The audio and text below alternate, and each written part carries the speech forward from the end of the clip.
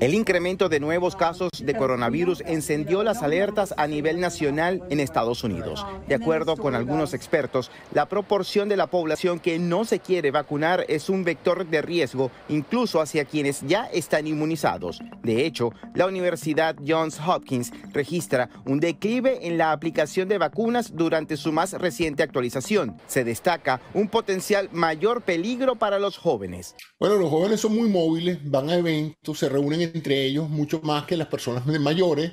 Entonces, obviamente, esto hace con una variante como la variante Delta, que es muy infecciosa, una mayor posibilidad de que se enfermen no solamente los que no se han vacunado, sino muchos de los que se han vacunado, pero que no tienen todavía una respuesta inmune eh, bastante fuerte. El médico experto en bioingeniería, José Antonio Cisneros, dijo a La Voz de América que la prevalencia de la variante Delta representa una relación de contagio muy elevada.